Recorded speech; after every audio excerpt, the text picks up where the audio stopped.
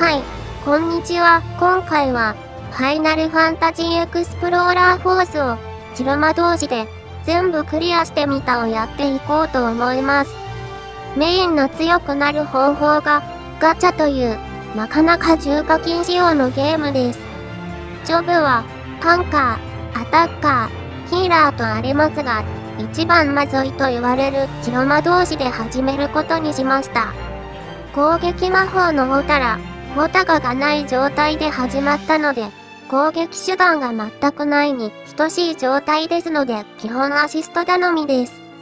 序盤は、回復が一切必要ない状態ですので、放置芸で、普通の感性の持ち主なら、なんでヒーラー選んじゃったんだろうと心が折れそうになります。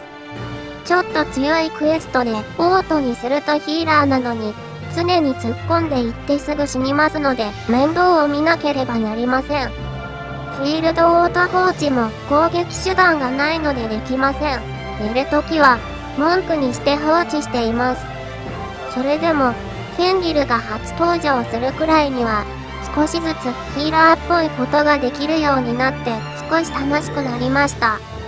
進めていくと、なんだかんだで大きく積むところもなく、ノーマルケースと最後の5章までやりきって、サブケーストもクリアし、ハードクエストもクリアし、サブハードもクリア。これで全部のクエストが完了しまして、マルチ一切やらないで終わってしまうという結果になりました。